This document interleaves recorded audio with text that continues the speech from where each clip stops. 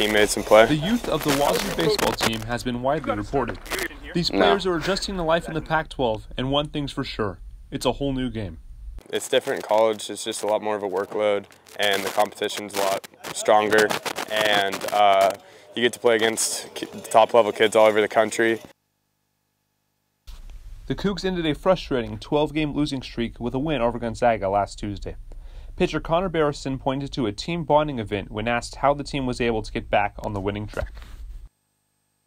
Uh, as a team, we got together, we had a little bonfire, and um, we talked about it, talked about what we needed to do, uh, how to improve. We came together as a team and we focused, something else just clicked. Kyle Manzardo leads the team in RBIs as a freshman, a rare feat for such a young player.